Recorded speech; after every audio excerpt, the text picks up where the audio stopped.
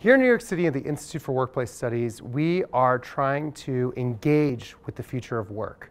What does the digital economy mean for the average worker? And this is an important question not just for the Institute, not just for ILR, but for Cornell, and in fact for the whole world.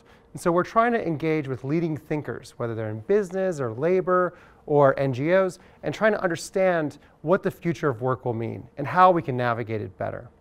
What I've been talking about is the fact that America is about to face a tsunami of change in the way we work and in our jobs, that no one really wants to discuss it, that has huge implications for our kids and our family, and that there are ideas like the one I'm promoting, universal basic income, that actually could ease the transition and allow people to live with much more economic security for our kids and our grandkids.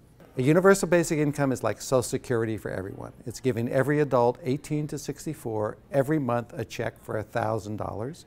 It's a way to end poverty and provide for economic security. I mean, I think it's incredibly important in places like New York City and in you know, distinguished institutions like Cornell that the discussion about the future occurs. Because too often, you know, America is so focused on what's happening today that we don't think about tomorrow. And the leadership that Cornell the, is showing in the future of work is the kind of leadership and the kind of debate our country really needs. I've spent my whole life trying to change other people's lives, and I now stand at a moment where I understand that the world that I grew up in and my father and grandfather did, the one job in a lifetime, is ending.